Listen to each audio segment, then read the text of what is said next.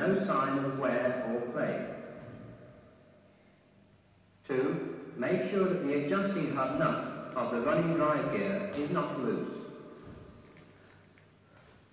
3. The worm shaft should have no end play.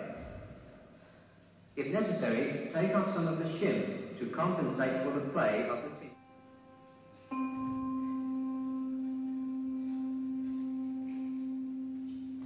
The electric unit consists of cams and emitters, digit filters and relays.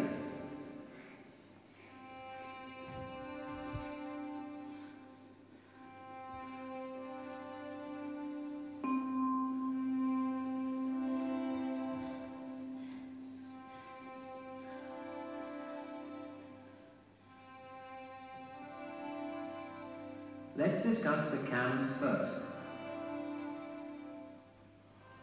Make sure the insulating plates are perfectly clean to avoid grounding to frame or short-circuiting in the bakelite.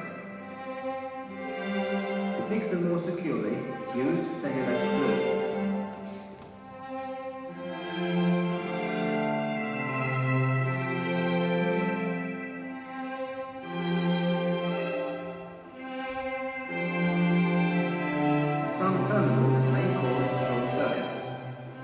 The example shown here is rather difficult to detect and could result in intermittent troubles.